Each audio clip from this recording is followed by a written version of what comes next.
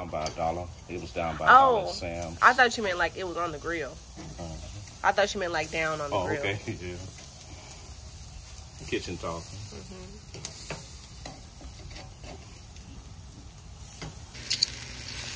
Some onions here. Made this strawberry jam that's going on my in the oven right now.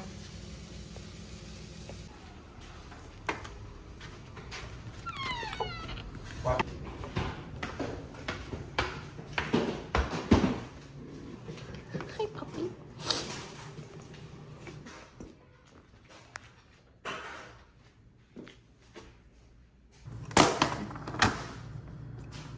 That looked big when it came out. Mm-hmm. Oh yeah, I always have to.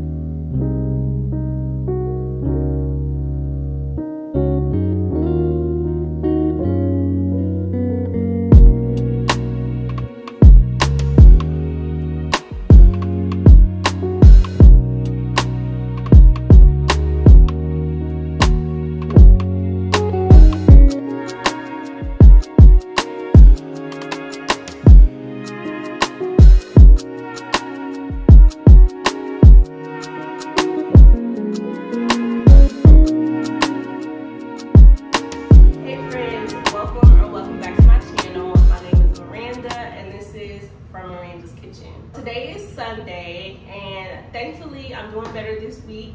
Um, I know I mentioned in my last like two vlogs that life was lifing, but life is on the up and up now. Like things are much better. I'm in a much better mood and I definitely give all of that to my self-care routines.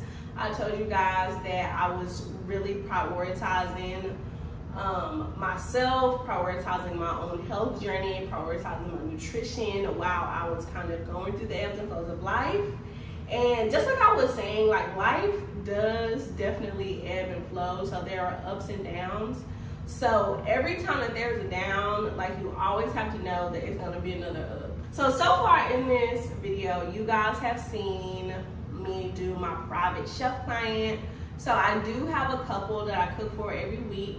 Um, and they are currently my only like private chef clients. If you guys are interested in a private chef, I do have some room on my schedule right now for that. So if anyone is in the Shreveport or Bossier area and you are looking for a private chef, hit your girl up. So I do that for them every week, and I showed you guys that. Um, and then also my dad and I had a party on Thursday that went really, really well. Um, I'm really gonna do better about like recording the process of caterings. This one I did not get to record that much of just because things were kind of crazy. It was a little hectic. Um, and yeah, like this specific party was like not, it was smooth. Like everything went fine at the end of the night. Everything was great.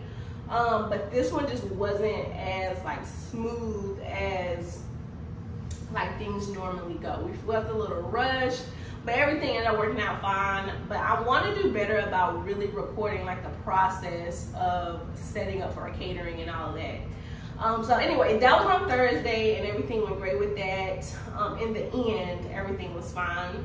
So what else is going on this week? Honestly, I feel like this week is gonna be pretty chill. We don't have anything on the calendar for this week. Um, I am gonna be working at Glow and Cullen and I are gonna be doing brunch again at Glow on the 19th, which is coming up this next weekend. So that'll be fun. I'll definitely record that. We've been like putting the menu together and um, that's gonna be really fun.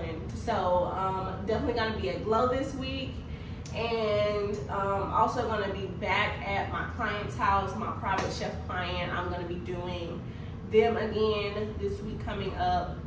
And yeah, this week is gonna be pretty chill. Let me know in the comments what do you guys do when your life is ebbing and flowing and you don't want to get stuck in a slump. Like, what do you do to stay on top of your routines, to make sure you're taking care of yourself? Like, what are your your routines when your life is ebbing and flowing?